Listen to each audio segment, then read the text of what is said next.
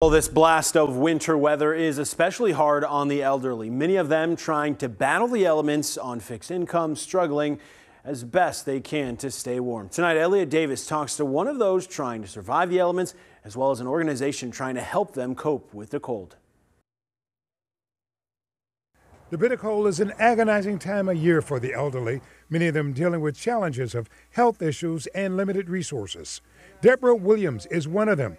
She had to get help to have heat in her Kirkwood apartment where she and her husband and her nephew live. It, it's hard. It it wouldn't have got paid. My money is set out. It be gone. You know, I get paid at the first of the month. I'm here to tell you, the fifth of the month, it's all over with.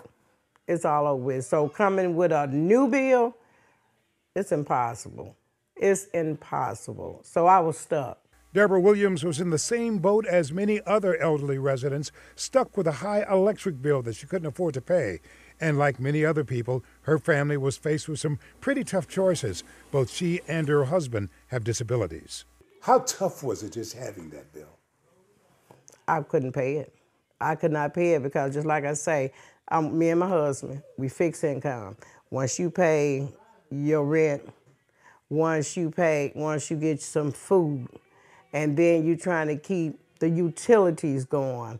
Like thousands of other elderly people in need, she turned to heatupstlouis.org for help surviving the elements. They paid the $500 utility bill. Gentry Trotter, the founder of heatupstlouis.org, says the bitter cold is one of the toughest times of the year for the elderly. I'm worried about the ones who need to be reconnected.